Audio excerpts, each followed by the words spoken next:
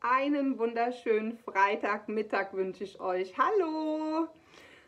So, hier bin ich wieder. Ich habe jetzt schon fünf Minuten langes Video gemacht, aber ähm, ja, meine Wortfindung ist heute irgendwie nicht so, wie sie sonst ist. Ähm, ja, ich fange jetzt nochmal ganz von vorne an und hoffe, dass ich nochmal alles Wichtige zusammenbekomme. Ja, ich habe mich jetzt eine Woche lang bei euch nicht gemeldet. Ähm, das liegt daran, ich hatte ganz, ganz viele Termine, unter anderem ja am Montag die Selbsthilfegruppe. Und da ist es mir einfach nicht möglich, ähm, dann dienstags live zu gehen, weil das einfach zu viel ist. Ich muss ja diese, dieses ganze Live und alles vorher auch ähm, vorbereiten und da ist es mir einfach nicht möglich, dass ich ähm, von Sonntag praktisch bis, bis Dienstag ähm, die Selbsthilfegruppe organisiere und auch das Live. Deswegen gehe ich nächste Woche Dienstag, bin ich auf jeden Fall um 18 Uhr live für euch da, werde da für euch da sein und werde wieder ein Thema ähm, vorbereiten. Ich bin mir auch schon fast sicher, welches Thema, da komme ich aber gleich nochmal zu. Ich wollte euch jetzt erstmal erzählen, was so aktuell alles geschehen ist. Also, ich habe am Mittwoch einen Anruf bekommen von der Frau Bertha. Das ist nämlich die Dame, die mit mir die Femizide gedreht hat, den Film Femizide. Ähm, es gibt am 23. November eine Podiumdiskussion. Diese Podiumdiskussion beinhaltet das Thema häusliche Gewalt und das hat eine Femizide Femizide, äh, Femizide sage ich ja schon, ähm, eine feminine Gruppe aus Frankfurt in die Wege geleitet. Es ist so, dass dort über die Gesetzesänderungen tatsächlich auch diskutiert wird. Ähm, es wird, werden Menschen vom Europäischen Parlament da sein, es werden Landespolitiker ähm, dabei sein, es werden hessische Politiker dabei sein, es werden viele ähm, viele Vorstände auch von, vom Weißen Ring etc. Also da wird alles vertreten sein. Und ich darf tatsächlich auch dabei sein. Ich freue mich wie Bolle, ja. Also es ist der Wahnsinn. Die haben mich dazu eingeladen und ich bin einfach nur sprachlos, dass ich an sowas teilhaben darf. Ähm, es ist wunderbar. Die Frau Bertha wird das Ganze ähm, managen, also die wird das auch so ein bisschen anleiten und ähm, die freut sich auch schon ganz doll drauf und ich mich auch. Ähm, ja, das ist die Information, die ich am Mittwoch bekommen habe. Und dann ist es so, dass ich ähm, letzte Woche schon bereits einen neuen Termin bekommen habe für den Hessischen Landtag. Der nächste Termin wird sein am 29. April. Mm, ich finde das ganz gut, dass der Termin ähm, jetzt etwas später stattfindet, weil es war ja so die Diskussion. Ich habe ja ähm, gesagt, dass ähm, ich von der SPD-Fraktion eingeladen wurde was ich ja auch benennen darf, weil es einfach die Wahrheit ist. Aber ich finde es gut, dass der Termin so spät ist. Damit ist nämlich die Wahl abgeschlossen und es kann nicht mehr thematisiert werden, dass diese Menschen mich nur haben wollen, um ja, Wahl, äh, Wahlwerbung oder ähnliches zu machen. Ja, das Thema ist damit vom Tisch. Es geht nämlich dann wirklich darum, ähm, die anderen Fraktionsmitarbeiterinnen kennenzulernen und einfach mal zu besprechen, wie es jetzt weitergehen soll. Dazwischen wird es aber mit der ähm, Nadine Gersberg, also mit der Frauenvorsitzenden, genau, Frauenbeauftragten, so rum, ähm, nochmal ein Live geben. Ähm, sie wollte das Live gerne über Instagram machen, aber ich habe gesagt, mir wäre es persönlich lieber über Facebook, weil ja meine ganzen Menschen, die mir immer zuhören, ähm, hier bei Facebook sind. Und das werden wir tatsächlich auch dann machen. Ich habe auch schon einen Termin. Ich habe jetzt natürlich meinen Terminkalender nicht dabei. Das heißt, ich werde euch den Termin dann nächste Woche Dienstag beim Live auf jeden Fall sagen. Ja, und da werden wir auch ähm, schon mal ein Thema ansprechen, was wir ähm, ändern wollen, was wir, äh, was wir an der Arbeit alles ähm, äh, ja, was wir aufnehmen wollen, was alles äh, berücksichtigt werden muss. Und da könnt ihr natürlich dann auch ähm, eure Comments reinschreiben und da werden wir auch drauf eingehen. Das ist mir nämlich persönlich auch ganz wichtig, dass ich da mit euch mit einbeziehen kann. Dann sind wir ja gerade aktuell dabei, die Miriam, die Christina und ich. Jetzt kommen wir noch mal ganz kurz zur Gruppe. Also ähm, es gab ja ganz, ganz viele verschiedene Diskussionen auch in der Gruppe. Wir sind jetzt noch zwei Menschen und dann sind wir tatsächlich 2500 Leute.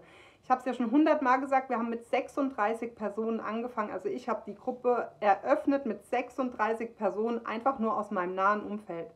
Und jetzt sind wir 2500 Menschen. Das ist für mich, ich, ich, diese Reise ist wie so ein endlos wundervoller Traum. Ja? Also es ist einfach, dass ich das machen darf, erreichen darf, dann das, was ich jetzt schon alles gemacht habe, was ich schon in die Wege geleitet habe, mit wie vielen Menschen ich kommuniziert habe, die mich wirklich ernst nehmen in dem Thema. Das ist einfach so ein wunder, wundervolles Gefühl. Und ich verspreche euch, dass, da bin ich mir ganz sicher, dass wir zusammen es schaffen werden. Dafür brauche ich aber euch, ja, dass wir es zusammen schaffen, dieses Thema endlich offen zu legen und endlich publik zu machen. Und wir sind auf einem super, super, super guten Weg. Und ich weiß einfach, wenn wir bei uns bleiben, wenn wir alles das so berichten, wie wir es erlebt haben, dann kann da nicht auf Dauer jemand wegschauen, nämlich die Gesellschaft. Ja, und das ist ganz wichtig, dass wir das zusammen angehen und das ist wirklich wichtig, dass wir da auch ein Netzwerk bilden. Ich hatte gestern ähm, ein, ein Gespräch mit einem ähm, Piloten ähm, der Lufthansa, aber auch gleichzeitig der ähm, Psychologe ist und Psychiater ist. Ähm, es gibt eine eine, ähm, eine Flugsicherheits, ein Flugsicherheitskonzept, wo das nennt sich CISM und da werden die kritischen ähm, Zustände von der Psyche bewertet nach, einem, nach einer Belastungssituation während des Fluges. Und das Gute daran ist, dass diese Funktion genauso funktioniert wie das, wenn wir diesen narzisstischen Missbrauch er erfahren. Ich werde jetzt auch ähm, werde eine Schulung zu einem Pierce machen. Pierce ist ein Mensch, der praktisch direkt nach diesem katastrophalen, also wie jetzt bei mir zum Beispiel die, die Mordversuche, ja, dass ich dazu ausgebildet werde, dass ich innerhalb zwölf Stunden oder sechs Stunden greifbar bin, wo jemand mit mir dann kommunizieren kann, dass ich ihn auffangen kann. Diese Ausbildung werde ich auf jeden Fall ähm, mit dem Herr Dr mit dem ich gestern gesprochen habe, ähm, ich weiß nicht, ob er genannt werden will, deswegen sage ich den Namen jetzt nicht, ähm, der wird mir auf jeden Fall helfen, dass ich so eine Peers-Schulung ähm, besuchen kann, dass ich die machen darf. Und ähm, ja, das ist für mich ganz wichtig, dass ich auch weiß, wie ich in solchen Situationen reagieren kann und euch da auch helfen kann oder auch Menschen helfen kann, die wirklich aus einer Akutsituation kommen. Und ich werde auch aus diesem Handbook, was die ähm, ausgehändigt haben bei der Lufthansa, ähm, werde ich auch nächste Woche wahrscheinlich mein Live machen, um euch einfach mal zu signalisieren, wo ihr eine kritische Situation habt, wo ihr drin feststeckt und wann es wirklich wichtig ist, euch Hilfe zu suchen. Und da kommen wir jetzt nämlich zu dem Thema von heute. Es tut mir leid, dass ich euch jetzt acht Minuten lang erstmal mit Informationen zugetextet habe. Ähm, und zwar geht es mir heute darum, dass ihr euch eine gute Ausgangslage, bevor ihr euch trennt, ähm, beschafft. Ja, ähm, das ist das erste Thema und das zweite Thema ist auch nochmal wichtig für mich anzureißen, warum es so wichtig ist, diesen No-Kontakt aufrecht zu erhalten. Ähm, es ist immer wieder die Thematik, dass ähm, dieser No-Kontakt so in Frage gestellt wird. Ist es wirklich nötig? Geht es nicht auch ohne? Kann man nicht ähm, auf ein minimales freundschaftliches ähm, Verhältnis reduzieren? Also ich möchte euch heute einfach nur mal mit an die Hand geben, warum ihr euch sehr gut vor der letztendlichen Trennung vorbereiten solltet und warum es so wichtig ist, dann letzten Endes auch diesen No-Kontakt zu halten.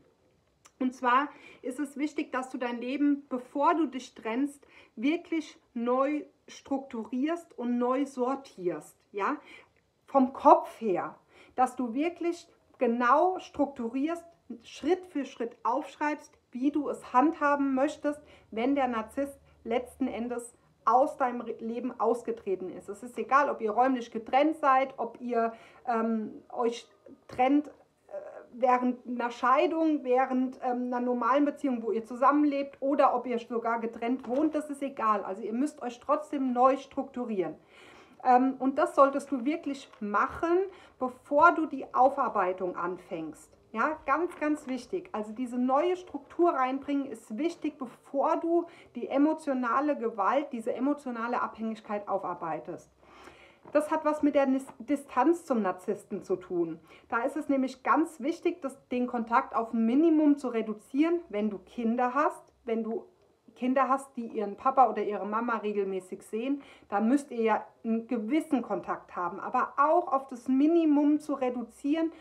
Vielleicht auch eine dritte Person immer dabei zu haben, ob Telefonate, ob ähm, also eine neutrale Person, immer dabei zu haben bei der Übergabe, einfach, dass das Ganze nicht eskalieren kann und dass er euch auch nicht weiter manipulieren kann. Ähm, und eben dieser No-Kontakt bei Alleinstehenden, ja, bei einer Trennung, wo die Kinder erwachsen sind oder bei einer Trennung, wo es einfach keine Kinder gibt. Ähm, denn nach jedem Treffen kennt ihr sicherlich das Gefühl, wenn ihr immer wieder zurückgeworfen werdet. Ja? Alles, was ihr euch mühselig vorher aufgearbeitet habt, ist nach einem Sehen, nach einem Treffen hinüber. Also ich hatte das immer so, dass ich ihn gesehen habe und alles, was ich zuvor in meinem Kopf hatte, war weg. Ja, alles. Und es war egal, wann ich ihn gesehen habe. Es war auch tatsächlich noch nach anderthalb, zwei Jahren, dass auf einmal alles, was ich mir vorgenommen habe, was ich sage, was ich, ähm, wie ich, hand, äh, wie ich, wie ich ähm, reagieren werde, alles war absolut weg. Ich konnte mich an das nicht mehr erinnern, es war nicht mehr greifbar. Ich habe gezittert an Händen und Füßen, ich habe mit den Zähnen geklappert. Also ich, mein Körper ist völlig außer Kontrolle geraten und ich habe das auch nicht in den Griff gekriegt. Und mir war auch klar, dass das nur mit einem No-Kontakt geht, dass ich diese Linie unterbrechen kann. Ja?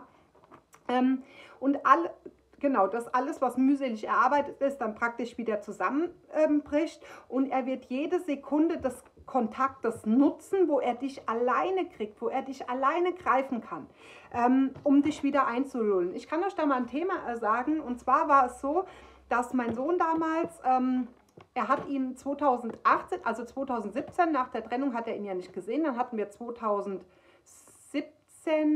genau, 2017 hatten wir dann das, dieses Gerichtsverfahren und 2018, also das Problem ist bei uns, dass mein Vater genau über der Oma von seiner ersten Tochter wohnt. Und da war ähm, er bei der, bei der, bei der, bei der Julian ähm, eine Stunde unten und ähm, hat ihn praktisch besucht oder zu Weihnachten eine Stunde gesehen. Da war er ja auch noch kleiner, es waren auch Leute da, die aufgepasst haben, also da musste ich mir keine Sorgen machen. Ähm, und es ist so, dass ähm, er mit seiner neuen Partnerin da war und sie ist nur kurz nach hinten gegangen und hat irgendwas geguckt oder nach den Kindern geguckt und da sagte er zu mir, na, guckst du heute Abend auch die Helene Fischer Show? Das war ein Satz, wo er, wenn ich, also da konnte er mich schon nicht mehr erreichen, da war ich schon zu weit weg, aber es war trotzdem wieder ein Satz, wo er versucht hat, mich einzulullen. Und in dem Moment, wo sie wieder zurückkam, war er wieder ganz anders. Ja, also ich möchte euch nur sagen, die schaffen das mit einem Satz, dich kontinuierlich aus der Fassung zu bringen. Und genau das ist es, was ihr mit diesem No-Kontakt unterbrechen müsst, weil dann euer, ähm, weil ihr dann die Chance habt, dass sich euer, ähm, also euer, euer Gehirn wieder neu programmiert und wo ihr wieder klar denken könnt und mit Abstand einfach die Dinge so sehen könnt, wie sie wirklich passiert sind. Ja, ähm, und das könnt ihr eben während dieser immer wiederkehrenden Begegnung mit dem Narzissten schafft ihr das nicht, weil ihr es nicht schafft, euch auf euch selber zu konzentrieren, weil ihr ja wieder immer wieder zurückgeworfen werdet. Ähm, und er möchte ja auch weiterhin die Macht über dich haben. Und in diesen kleinen Frequenzen spürt er, dass er immer noch Macht über dich hat. Weil er spürt ganz genau, er kann ganz genau in dich reinspüren, was das, dieser eine Satz mit dir macht. Ja, und da hat er wieder die Zufuhr. In diesem einen Augenblick hat er wieder diese narzisstische Zufuhr, die du ihm absolut per Du nicht geben wolltest, weil du es dir bewusst bist, dass er das sucht. Aber in diesem Moment geht es nicht anders, weil der Körper einfach so reagiert, wie er reagiert. Ja, ähm, und das ist ganz egal, ob er gegangen ist, dich sitzen gelassen hat oder ob du letzten Endes gegangen ist. Das ist egal. Also das wird er immer wieder probieren, diese Macht über dich zu haben. Denn ihr wisst alle, ihr seid für ihn sein Spielzeug. Er macht mit euch, was er will. Er manipuliert euch und er denkt, solange ihr ihm diese Macht gebt, nämlich über diesen Kontakt, den ihr haltet, ähm, denkt er, er kann das so lange machen, so lange, wie er das braucht. Ähm, muss ich mal gucken, was ich hier geschrieben habe. Ich erkenne meine eigene Schrift nicht, das ist auch cool. Ähm, genau. Äh, ich muss mal aussehen. Genau. Also es, ähm, diese Macht spiegelt sich auch dahingehend, dass er zum Beispiel ähm, nach der Trennung auch bestimmen will über die weitere Umgangsweise. Also das heißt, ähm, er wird die Scheidung rausziehen, er wird ähm, die, die Sachen aus der Wohnung, die dir vielleicht gehören, nicht rausgeben, wenn du ausgezogen bist. Er wird sich ewig Zeit lassen, eine Wohnung zu suchen, wenn er ausziehen muss.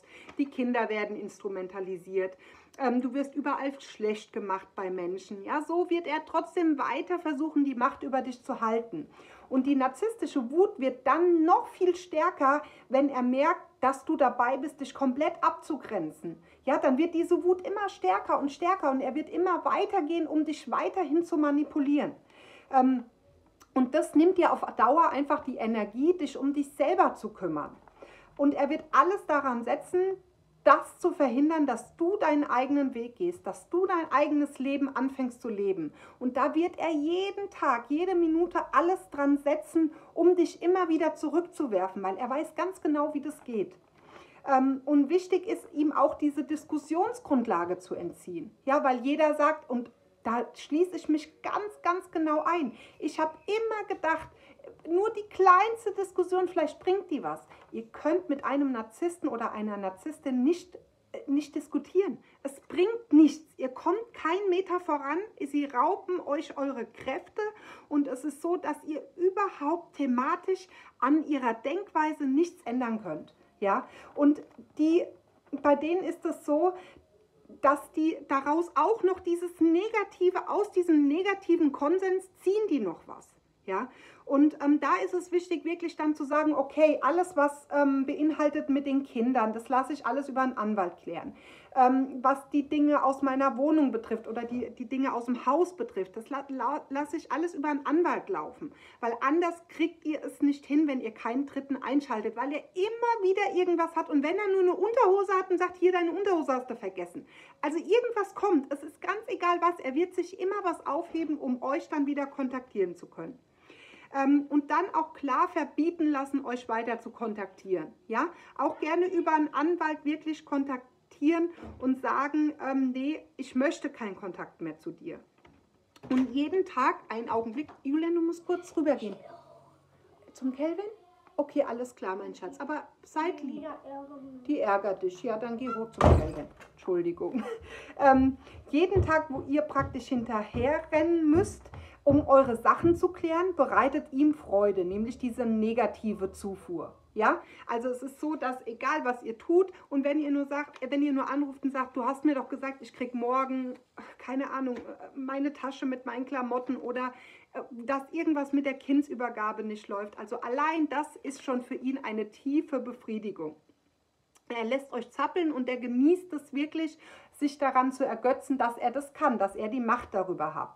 Aber es geht natürlich auch noch weiter. Es geht in die Demütigungsphase. Er spielt mit euch, er maßregelt dich wieder und er kontrolliert dich auch wieder. Ja, er versucht dein Leben weiterhin zu kontrollieren. Und deswegen ist einfach dieser No-Kontakt so wichtig. Woran muss man denken vor dem No-Kontakt? Das möchte ich euch mal stichpunktartig mitgeben. Ähm, wichtig ist, dass ihr ihm keinen Zutritt zu eurer neuen Wohnung gebt. Ge macht euch wirklich euer neues Zuhause positiv. Baut euch das so auf, wie ihr das möchtet. Schaut, dass ihr das ganze Negative von ihm rauslasst. Also lasst ihm niemals eure neue Wohnung betreten. Ohne Kinder sollte der Narzisst im Idealfall auch keine Adresse von euch erfahren oder keine Telefonnummer. Geht natürlich nur, wenn keine Kinder im Spiel sind. Er kann, wenn ihr irgendwas zu klären habt, alles über einen Anwalt, äh, kannst du alles über einen Anwalt klären lassen. Ähm, alles ist aus der Wohnung, was dir gehört im Idealfall. Dann gibt es auch keinen Klärungsbedarf mehr. Ja? Macht euch das bewusst. Wenn ihr denkt, er hat irgendwas zu klären, es kann gar nicht so wichtig sein. Das kann er alles über dritte Stellen klären lassen, wenn es wichtig wäre. Ähm, Wichtig ist, dass die Trennung des Vermögens geklärt ist, dass äh, gemeinsame Verträge aufgelöst wurden, ähm, dass der Umgang natürlich mit den Kindern geklärt ist, dass dein monatliches Einkommen geklärt ist, dass der Freundeskreis informiert ist über die Machenschaften und auch aufgeteilt ist. Es gibt sehr wohl Freunde, die halten zu euch und es gibt aber auch Freunde, die zu ihm halten. Daran könnt ihr nichts ändern. Das ist einfach gang und gäbe und haltet euch an die Menschen, die euch Glauben schenken, die für euch da sind. Lasst die anderen, auch wenn es schwer ist, lasst es, weil es bringt euch gar nichts. Es, ihr kämpft nur und das ist sinnlos auf Dauer. Ähm, besprecht das mit dem Freundeskreis, dass keine neue Adresse, keine neue Telefonnummer, nichts rausgegeben wird. und schafft euch eine neue Routine in eurem Leben. Ja, tut wirklich gucken, dass ihr immer einen routinierten Alltag habt, der immer wiederkehrend ist, dass ihr euch einfach anfangen könnt, an das Neue zu gewöhnen. Da wieder zum Thema Festplatte neu programmieren. Und wenn du den Abstand zum Narzissten hast, kannst du anfangen, an dir zu arbeiten. Weil ich, wie ich vorhin gesagt habe, ähm, du brauchst ein klares Denken, um an dem Missbrauch zu arbeiten. Ansonsten klappt das nicht. Und dazu brauchst du den Abstand in der Beziehung. Weil alle aufgestauten Gefühle, die ihr habt, die müssen ja auch Raum bekommen. Ja, und die brauchen auch Platz, dass du dir selber deine Erklärungen geben kannst, warum es überhaupt so weit gekommen ist. Und das kannst du einfach nicht, wenn die Gefühle immer noch Achterbahn fahren und du immer wieder hin und her gerissen wirst. Ja, in dem Missbrauch ist es ja ein Hin- und Herreisen. Und du kommst erst dann raus, wenn tatsächlich dieser No-Kontakt besteht und wenn gar nichts mehr ist und wirklich dein Körper und deine Seele mal zur Ruhe finden. Deswegen zuerst die räumliche und die körperliche Trennung und dann die Aufarbeitung des Themas. Und oftmals ist das alles auch gar nicht so leicht, wie es sich jetzt anhört, sondern ihr seid schwer traumatisiert, ihr habt eine posttraumatische Belastungsstörung. Dann ist es einfach wichtig für euch, wirklich euch Hilfe zu suchen, ärztliche Hilfe, psychologische Hilfe. Scheut euch nicht davor. Ohne die wäre ich heute niemals so weit, wie ich bin. Ähm, es geht in, dies, in vielen Konstellationen einfach nicht mehr ohne Hilfe. Und man darf Hilfe in Anspruch nehmen. Dafür ist die Hilfe da. Ähm, denn es gibt ja auch diese Schockstarre, die ihr kennt. Ihr seid wie gelähmt und das muss aufgelöst werden. Und das kann man nicht alleine schaffen. Also ich bin der Überzeugung, das kann man nicht alleine schaffen. Ähm, Im äußersten Notfall ist auch eine medikamentöse Behandlung notwendig. Ich halte davon weniger etwas, weil ich glaube, ähm, ja, medikamentös kannst du einfach die ganze Geschichte nicht aufarbeiten. Du kannst dir zwar erstmal kurzzeitig helfen, aber auf Dauer sind Medikamente einfach nur, ja, also ich halte davon nichts. Redet es mit eurem Arzt. Ich möchte auch gar nichts Negatives sagen, aber für mich wäre es keine Lösung auf Dauer, dass ich mich medikamentös runterfahre oder ähnliches. Ähm, super wäre es natürlich für euch, wenn ihr mentale Unterstützung habt, nämlich von euren Freunden, von eurer Familie, die euch stützen und die euch auch so ein bisschen helfen, euren neuen Lebensweg aufzubauen. Das wäre natürlich optimal. So, ihr Lieben, jetzt habe ich 22 Minuten lang ein Video gemacht. Ich wollte ja nur ein kurzes Video machen. Ich hoffe, ich konnte euch ein klein wenig rüberbringen, warum dieses, dieser emotionale Abstand und dieser No-Kontakt so wichtig sind. Ähm, und, und kann euch da ein bisschen so ein paar Fragen beantworten. Ansonsten würde ich mich freuen, wenn ihr nach wie vor ähm, mein Video teilen würdet. Vielleicht, dass ihr auch ähm, den Zeitungsbericht von der Brigitte teilen würdet, weil jeder, der ihn teilt, die Menschen, die betroffen sind, finden unten einen Link und können sich sofort in unsere Selbsthilfegruppe ähm, einfinden und können auch Kontakt aufnehmen und auch über die Homepage einfach Kontakte aufnehmen, um Hilfe zu bekommen. Also von daher ist jeder, der ähm, meine Seite teilt, äh, bin ich, also auch mein, mein, von der Brigitte, die diese, ähm, was ich Anfang der Woche reingestellt habe, wäre es wirklich klasse, weil dann können wirklich Betroffene auch Hilfe bekommen und können einfach viel schneller zu uns finden. Das wäre einfach wunderbar. Ansonsten wünsche ich euch ein wundervolles Wochenende. Ihr, wir sehen uns am Dienstag um 18 Uhr live hier auf, Inst ach, auf Instagram, sage ich, hier auf Facebook. Und ähm, bis dahin wünsche ich euch eine wundervolle Zeit und wir hören und sehen uns und ja, eine wunderschöne Zeit und haltet die Ohren steif. Eure Svenja, tschüss.